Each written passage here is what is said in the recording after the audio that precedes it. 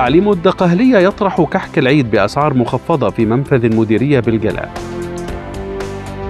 تكريم المشاركين في مبادرة حياة كريمة على هامش الاحتفال بطلاب قادرون باختلاف ومبدعون من ذوي الهمم بالمنيا.